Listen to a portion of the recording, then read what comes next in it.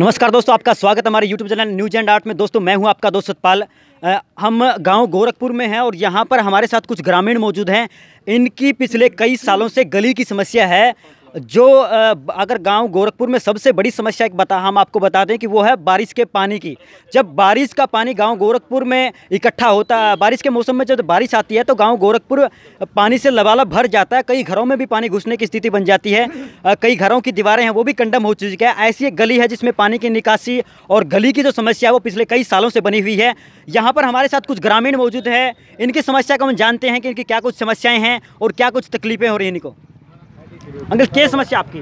भैया चार पाँच बार की गली है इसका सरपंच ने इसने कह ना मैंने कई साल दो तीन साल हो गए। वो गली बनाने तक मेरे पास ग्रांट नहीं है। अच्छा। आज मंत्री विधायक जाए उन्होंने आश्वासन दिया कि गली बनेगी और एक गंदा पानी ये नाला है इसका जिसको बहुत गंदगी इससे फैलती है। कितने सालों से समस्या है? ये 2013 से। तेरह से? 2013 से। अच्छा। 2013 से समस्या है। सरपंच के कई बार गए एमएलए के पास भी गए। एमएलए ने टाइम दिया था दो महीने का बारहवें महीने में गए थे एमएलए के पास। तो देख लो कितने महीने हो गए। करीबन एक साल होगी ना एमएलए ने कुछ किया है। तो ये गली बनाने के लिए हमने आज आश्वासन दिया है। आज क्या कुछ प्रोग्राम था? क्या किससे कुछ मिले आप? आज चौधरी रणजीत सिंह बिजली मंत्री और विधायक दुड़ाराम जी।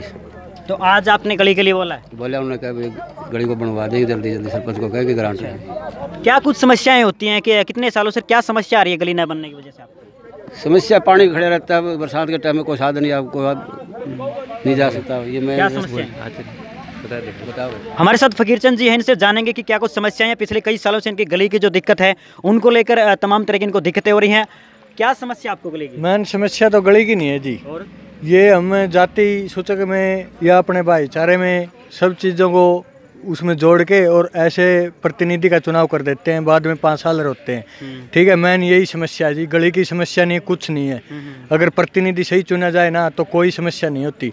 ग्रांट सरकार के पास बहुत होते हैं देने के लिए लेकिन हम ऐसे अनपढ़ गवार और लुटेरे को बिठा देते हैं ऐसे पद पर जो कि पूरे भारत के विकास का मेन स्रोत जो होता है वो पंचायत होती है। भारत के विकास के लिए गाँव की जो पंचायत होती है, वो मुख्य भूमिका होती है। उससे अगर हम मज़बूत बनाएँगे तो उससे देश का विकास होगा। यही कारण रहा है कि हमारी ये गलियों की समस्या है, गंदे नाले की समस्या है, और ऐसी कुछ नहीं है। ये गाँव बड़ा आदर्श गाँव है। यहाँ के जो जनमानस है, सबका भाईचारा है, और बड़े प्यार प्रेम से रहते हैं। जय हिंद। आज जो लोगों ने क्या वो गली की समस्या बताई है और मंत्री जी से भी गली के लिए मांग की है कि हमारी ये गली पक्की की जाए। तो मंत्री जी ने आश्वासन दिया कि हम दोनों यहाँ हैं और आपकी गली- आपकी ये समस्या है कि नहीं है? समस्या बहुत गहरी है। फिर आप इस तरह आपने जो मेन समस्या हम पूछ रहे हैं वो समस्या आपने बता- बताई आपने अलग चीज़ बता दी लेकिन आप ये भी तो बताओ ना आपकी समस्या है कि नहीं है? समस्या है बहुत ज़्यादा तो है इसको हमें आठ सात साल हो गए इसको करते हुए।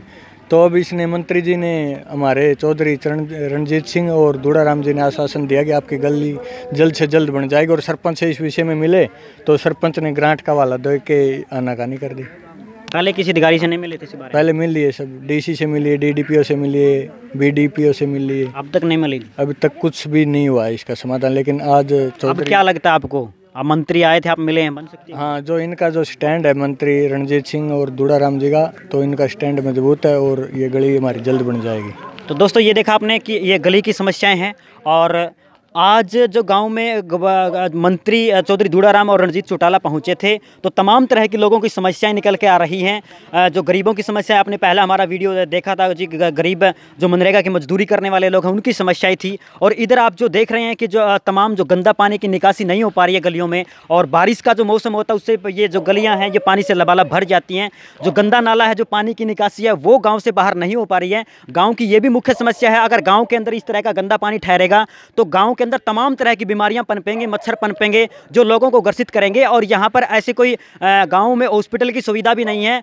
गाँव गोरखपुर फतेहाबाद डिस्ट्रिक्ट का एक बड़ा गाँव है। तो इस तरह की तमाम तरह की यहाँ परेशानियाँ होती रहती हैं, लोग उनसे जूझते रहते हैं। इसी तरह की तमाम समस्याओं को आप देखने के लिए, लोगों की मजबूरियों को समझने के लिए हम लोगों से मिलते रहेंगे, उसकी समस्याओं को, आवाज़ को उठाते रहेंगे। आप हमारे साथ जुड़े रहिए। नमस्कार। जय हिंद।